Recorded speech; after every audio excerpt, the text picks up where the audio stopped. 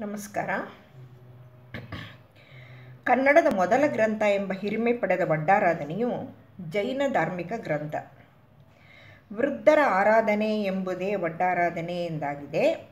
ವಡ್ಡ ಎಂದರೆ ವೃದ್ಧದ ತದ್ಭವ ಎಂಬ ಅಭಿಪ್ರಾಯವು ಈಗ ತಪ್ಪು ಎಂದು ತೀರ್ಮಾನವಾಗಿದೆ. ವಡ್ಡ ಎಂದರೆ ಬೃಹತ್ ಎಂಬ ಅರ್ಥವಿದೆ.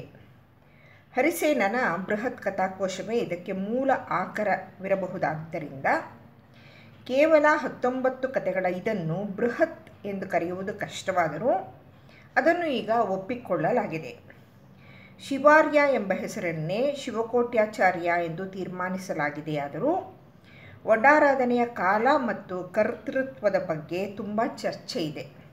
ಸದ್ಯಕ್ಕೆ ಕರ್ತೃ ಶಿವಕೋಟ್ಯಾಚಾರ್ಯ, ಹೆಸರು ವಡ್ಡಾರಾಧನೆ ಕಾಲ ಹತ್ತನೇ ಶತಮಾನ.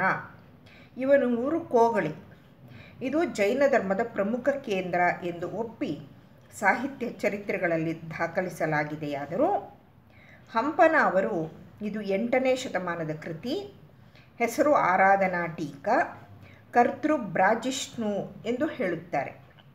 ಇದು ಒಪ್ಪಿತವಾದರೆ ಕನ್ನಡ ಸಾಹಿತ್ಯದ ಪ್ರಾಚೀನತೆಯು ಇನ್ನೂ ನೂರು ವರ್ಷ ಹಿಂದಕ್ಕೆ ಹೋಗುತ್ತದೆ. ಕವಿರಾಜ ಮಾರ್ಗದ ಬದಲು ಒಡ್ಡಾರಾಧನೆಯೇ ಕನ್ನಡದ ಮೊದಲ ಗ್ರಂಥವಾಗುತ್ತದೆ.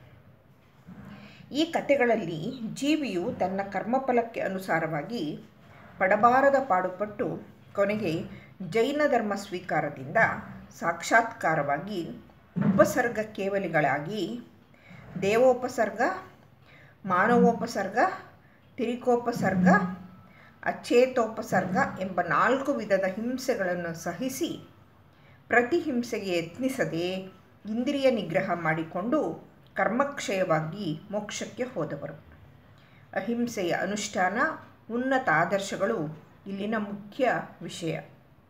ತಾವು ಅನಿಸ, ಅನುಭವಿಸಬೇಕಾಗುವ ಹಿಂಸೆಯನ್ನು ಜನ್ಮಾಂತರಗಳಲ್ಲಿ ಮಾಡಿದ ಪಾಪದ ಫಲ ಎಂದು ಪರಿಗಣಿಸುವ ಜೈನ ಮಹಾತ್ಮರ ಕಥೆಗಳು ಉಪಕಥೆಗಳೊಂದಿಗೆ ಸೇರಿ ಕಥಾಕೋಶವಾಗಿ ಇದು ಪ್ರಖ್ಯಾತವಾಗಿದೆ. ಇದಕ್ಕೆ ಹರಿಶೇಣನ ಕಥಾಕೋಶವೇ ಮೂಲ ಆಕರವಿರಬೇಕು. ಭಾಷಾ ಪ್ರಯೋಗ ಕಥನ ಕಲೆ ಇಲ್ಲಿಯ ಮುಖ್ಯ ಆಕರ್ಷಣೆ. ಇಲ್ಲಿನ ಹತ್ತೊಂಬತ್ತು ಕಥೆಗಳು ಸಾಂಪ್ರದಾಯಿಕವಾದವು. ಒಂದರಿಂದ ಇನ್ನೊಂದಕ್ಕೆ ಅಂಥ ವಿಶೇಷ ವ್ಯತ್ಯಾಸವೇನೂ ಇರುವುದಿಲ್ಲ. ವ್ಯತ್ಯಾಸ ತರುವ ಬಯಕೆಯೂ ಕಥೆಗಾರನಿಗಿಲ್ಲ.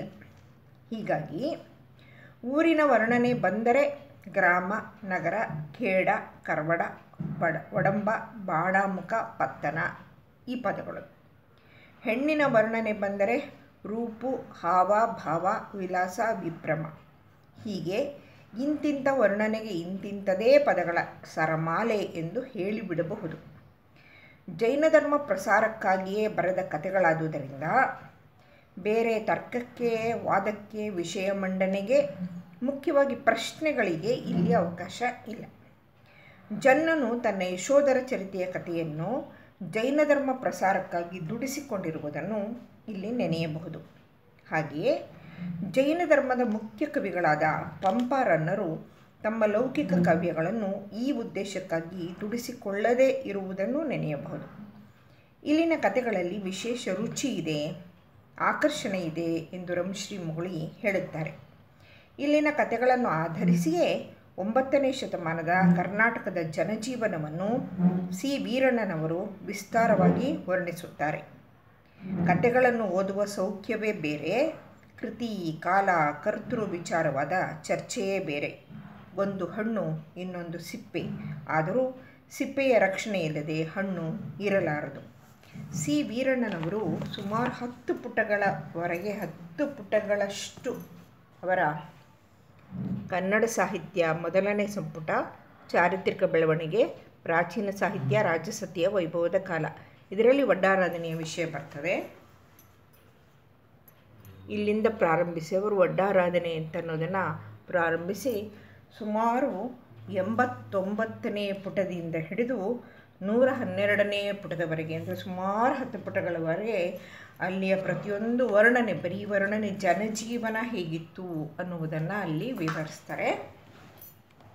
ಇದು ಒಂದು ರೀತಿಯಾದಂತಹ ವಿಮರ್ಶೆ. ಇದು ನಾನು ಬರೆದ ಕನ್ನಡ ಸಾಹಿತ್ಯ ಚರಿತ್ರೆ. ಕನ್ನಡವೆಂದರೆ ಬರೀ ನುಡಿಯಲ್ಲ ಅಂತ ಹೇಳಿ.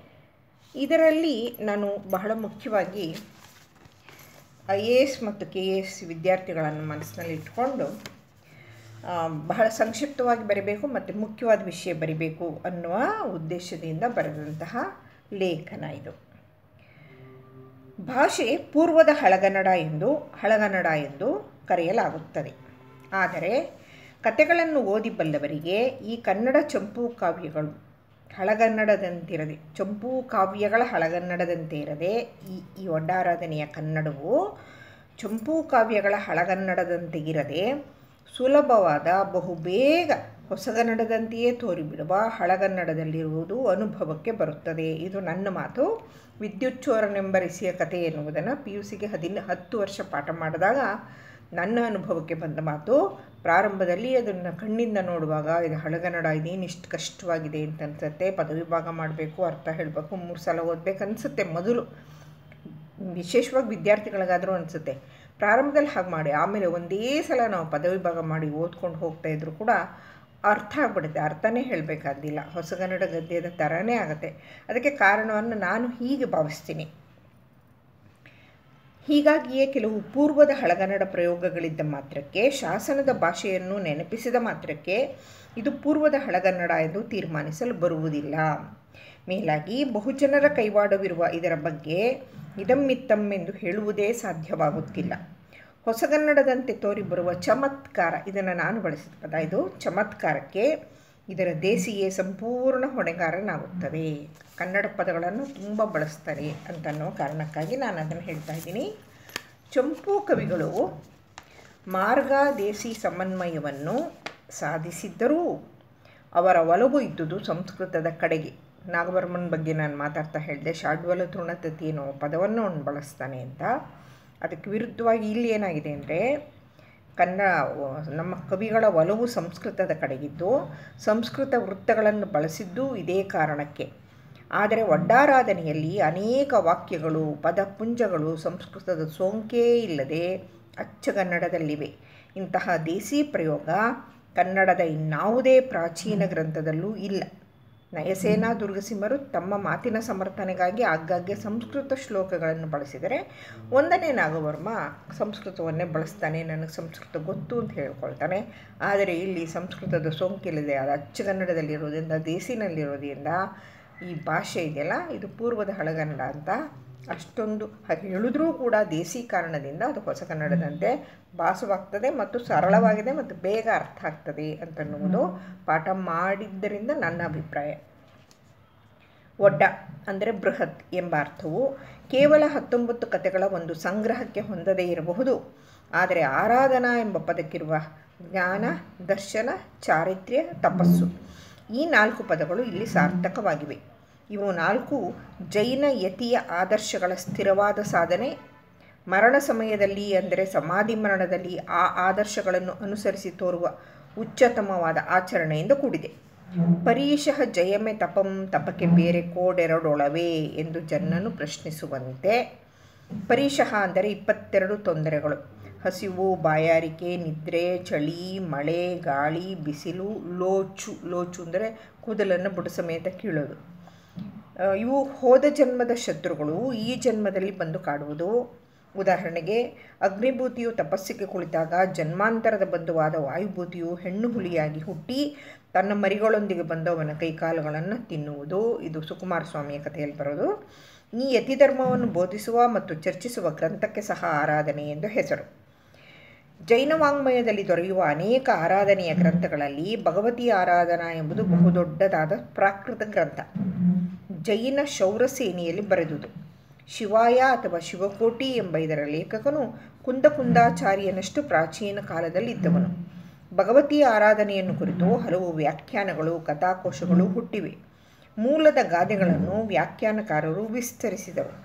ಕಥಾಕೋಶಕಾರರು ತಮ್ಮ ನಿರೂಪಣೆಯಿಂದ ಈ ಕಥೆಗಳನ್ನು ಬೇರ್ಪಡಿಸಿಕೊಂಡರು.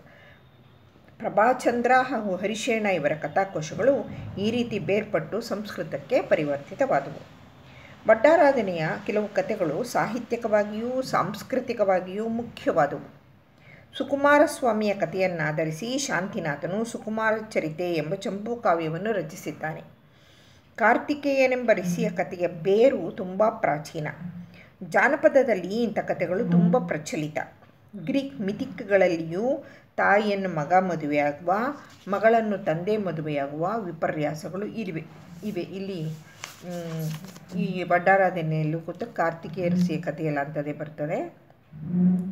ಇಂಥ ಕಥೆಗಳನ್ನು ಆಧರಿಸಿ ಗ್ರೀಕ್ ಕಥೆಗಳು ಈಡಿಪಸ್ ಕಾಂಪ್ಲೆಕ್ಸ್ ಎಲೆಕ್ಟ್ರಾ ಕಾಂಪ್ಲೆಕ್ಸ್ ಎಂಬ ಪದಗಳು ಜಾರಿಯಲ್ಲಿವೆ.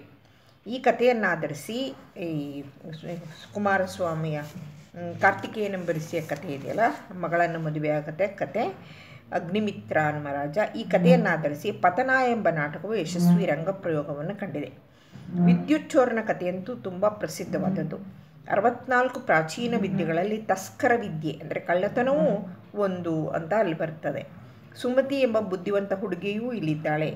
ಇಷ್ಟೊಂದು ವೈವಿಧ್ಯಮಯವಾದ ಕಥೆಗಳು, ಎಲ್ಲದರ ಉದ್ದೇಶವು ಜೈನ ಧರ್ಮ ಪ್ರಚಾರ. ಆದರೆ ಎಲ್ಲಿಯೂ ಏಕತಾನತೆ ಇಲ್ಲ.